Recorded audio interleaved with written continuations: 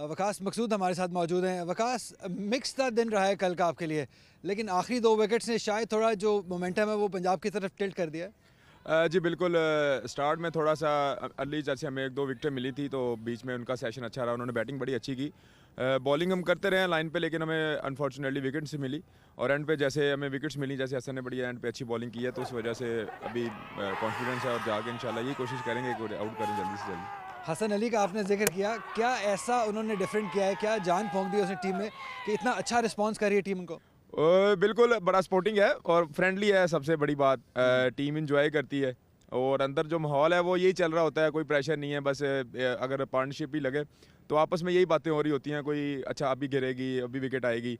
तो बड़ा अच्छा और सारे लड़कों को बड़ा गैदर करके रखा हुआ है। तो इस वजह से इंजॉय कर रहे हैं और रिज़ल्ट आ रहे हैं। अच्छा आपकी अपनी थोड़ी परफॉर्मेंस की बात करें, आप अच्छे one of the top wicket seamers हैं। आपका ज़िक्र होता है इसमें तो आप सेटिस्फाइड हैं सीज़न से?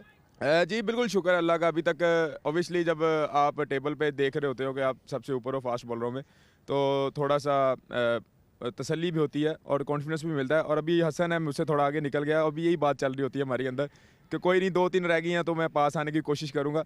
तो अभी ट्राई कर रहा हूँ और ऐसे इंशाल्लाह टफ टाइम देने वाला हूँ मैं आई एम श्योर आपकी जैसी बॉलिंग हो रही है डेफिनेटली आप टफ टाइम देंगे। तो इस मैच को आप कहाँ देखते हैं जाते हुआ अ, पाँच दिन का मैच है इंशाल्लाह अ, कोशिश यही करेंगे अभी अर्ली इन्हें आउट करें जितने कम रन पे कर सकते हैं। और बैटिंग में एक लंबा स्कोर करें और उसके ऊपर लीड करें को अच्छा टोटल सेट करें और कोशिश करेंगे फिर आउट करने के लिए और ऑब्वियसली मैच जीतने के लिए जाएँगे इंशाल्लाह। चलिए best of the luck have a good day thank you sir